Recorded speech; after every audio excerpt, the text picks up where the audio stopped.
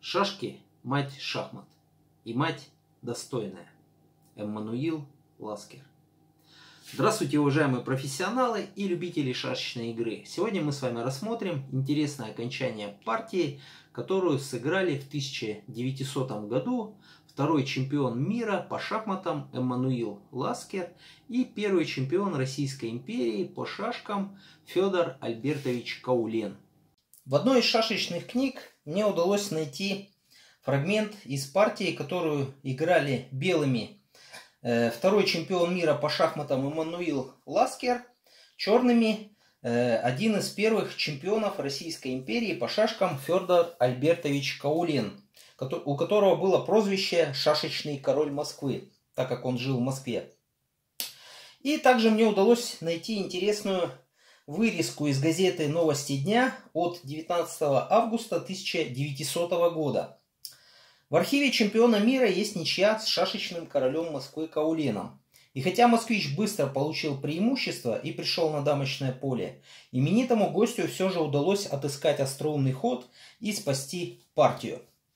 Вот такое положение создалось знаменитой партией Ласкер-Каулен. Ход белых Кажется, что поражение белых неизбежно, но белые могут форсировать очень красивую ничью. Поставьте видео на паузу и попытайтесь найти ничью за белых. Эммануил Ласкер пожертвовал шашку. Черные побили.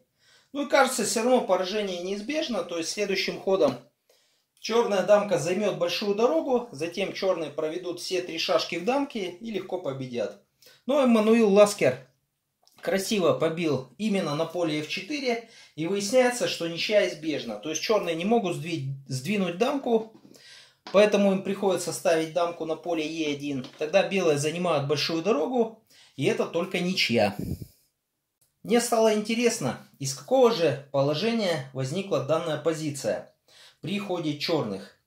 И я пришел к выводу, что она возникла вот именно из такого положения. При остальных рисунках на доске черные довольно-таки технично и быстро могли победить.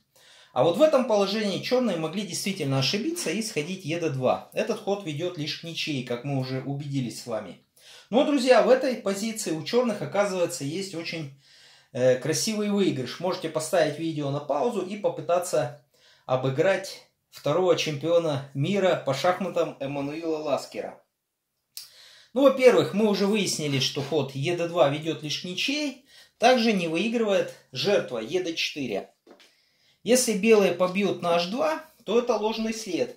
Получается, что черные действительно выигрывают. Они играют ЕФ2 и побеждают. То есть белым надо нападать, тогда черные закрываются. И видите, дамка связывает две шашки черных и белые вроде бы начинают вести свою шашку в дамки. Но черные обрезают белых по большой дороге и вынуждают дамку белых сходить на поле h2. Тогда черные ставят дамку на поле g1, проводят третью шашку в дамке, строят боевую позицию и побеждают. Кто не знает, как строить боевую позицию, подсказку оставлю в верхнем правом углу. Но все-таки после жертвы ед4 Белые могли красиво достичь ничьей. Для этого надо было побить на поле именно g3. h2 мы уже выяснили проигрывает. И это только ничья. То есть черные вроде бы атакуют, ед2 играют. Тогда мы связываем шашки черных и начинаем вести вторую шашку в дамке. Черные препятствуют этому маневру, то есть загоняют дамку на f8 и вынуждают нас сдвинуть э, нашу дамку. Но мы все-таки благополучно достигаем ничьей. Уходим на поле g3 и у черных есть два ответа. Либо ставить дамку на c1, либо играть cb2. Рассмотрим оба варианта. Если черные играют cb2, тогда белые точно нападают с поля e5 и выясняется, что это ничья. То есть черные вынуждены занять большую дорогу, иначе это ничья. Тогда белые нападают с поля f4 и благополучно достигают ничьей. Если же черные в этой позиции ставят дамку на поле c1, тогда снова нападаем с поля e5. Черные вынуждены закрыться, нельзя уступать большую дорогу. И тогда белые уходят либо на поле h2, либо на b8, тут без разницы. Ну и видите, если э, белые, черные сыграют на поле d2, тогда мы снова сыграем на поле f4 и разменяем шашки, поэтому это ничья. Если же черные, допустим, уходят на поле c1, то будет ничья повторением ходов. То есть нападаем с поля e5, черные снова уходят на поле b2 и снова возвращаемся на поле h2. То есть тоже чисто шахматный прием, так называемый вечный шах. Если же черные уходят на поле а1, тогда здесь надо сделать точный ход. Сыграть на поле f4, и эта позиция снова повторяется. То есть черные играют на b2, мы на h2, и вот такой своеобразный вечный шах. А где же все-таки выигрыш, спросите вы? А выигрыш был после очень тонкого и неочевидного хода э, дамкой на поле d2.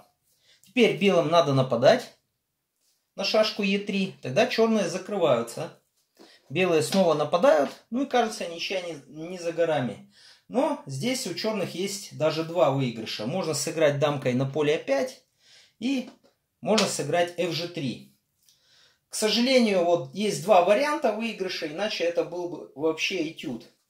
То есть, если мы играем на, на g3, тогда белые бьют шашку на h2, и тогда мы уже сыграем э, ef2. Белым надо нападать, связать шашки черных. Ну, эту позицию мы уже выиграли. Это окончание выигранное. То есть у белых единственный ход hg5. Тогда мы обрезаем белых по большой дороге. Ну и на ход g6 играем, допустим, на h8. Черные, вы, э, белые вынуждены сдвинуть свою дамку. Тогда мы ставим дамку на поле g1 и вы, выигрываем с помощью боевой позиции. Чемпион США Фрэнк Маршалл. Шашки очень трудны. Память много помогает игре. И шашки, в свою очередь, помогают развитию памяти. Один из величайших шахматных стратегов всех времен – гроссмейстер Акиба Рубинштейн. Мое мнение о шашечной игре, насколько я могу судить, экономия средств в шашечных комбинациях способна вызвать восхищение. Савелий Тартаковер – один из сильнейших шахматных гроссмейстеров начала 20 века.